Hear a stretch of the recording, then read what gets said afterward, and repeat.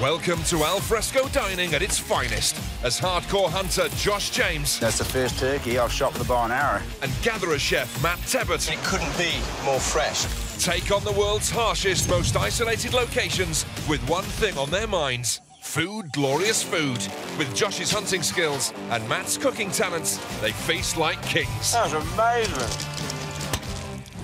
Kings of the Wild, Thursday on Discovery Channel.